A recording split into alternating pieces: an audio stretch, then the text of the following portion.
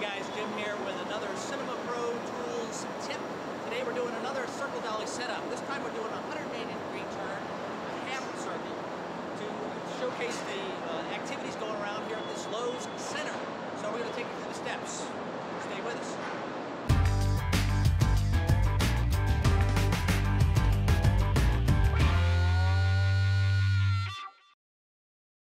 This tutorial is different from the other Circle Dolly tutorial in that it is a tight radius 180 degree turn. We're basically doing a half circle and doing it indoors. In the previous episode, we used standard 20 foot radius circle track.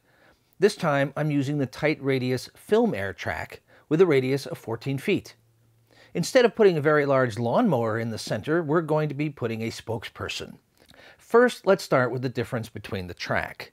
The standard radius track takes eight pieces to make a full circle, while the Filmair track only takes four. So for us, we have a half circle, so we only need two pieces of track to mess with. I'm really impressed with the Filmair track because it has a solid base underneath, which makes it super easy to level. Working inside a warehouse with smooth cement floors makes our job even easier. Still, you do have to do some tweaking because even the most highly polished cement floors are not perfectly flat. Also, when laying between two different slabs, as you can see here, you have minute differences and if you don't add wedges, you will have rock in the dolly as it moves along. I'm also in love with these plastic shims instead of the standard wooden shims used most often in the industry. You can get these from your hardware store. The quick setup time made our life easy as we had four different setups for this gig. Even when we set up outside in the parking lot, we still found it very simple to use the plastic shims to get our semicircle perfectly level. Once again, we are using the Portaglide wheels underneath our doorway dolly.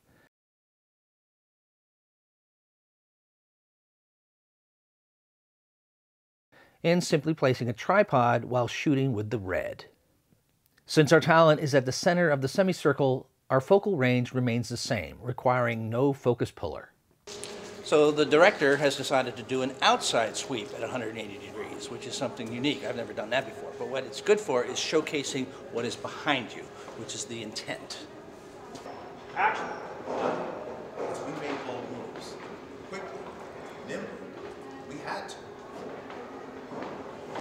Once again, we rented this equipment from our very good friends down at PC&E, Production Consultants and Equipment in Atlanta, Georgia. As is often the case, it is better to rent expensive gear like this and not buy it unless you are using it all the time. As you can see, this is quite a physical undertaking, and it does take experience to pull it off successfully. So I wouldn't suggest trying this for the first time on a shoot where your reputation depended on it. Instead, rent it for a weekend from your rental house and do some experimenting with it. Or get some experienced grip help to, mm, pardon the pun, put you on the right track. Or you can give me at Cinematix HD a call, like Lowe's did, and we can set it up for you, complete with experienced operators. All right, that's it for this Cinema Tools Pro tip. Hope you enjoyed it. Join us next time to learn about how to use industry uh, tools and techniques. I'm Jim Ross for Cinematix HD. We'll see you on set.